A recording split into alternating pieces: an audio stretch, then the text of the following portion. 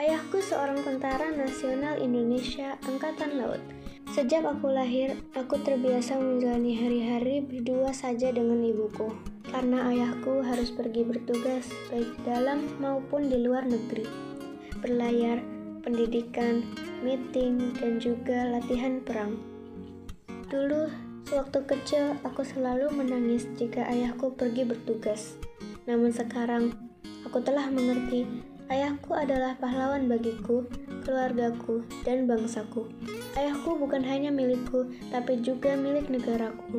Terima kasih TNI, terima kasih pahlawanku. Karenamu, kedaulatan negara tetap terjaga, dan kami bisa hidup dengan rasa aman, tentram, tenang, dan damai. Thanks for your service Indonesian National Armed Forces. And happy Heroes Day!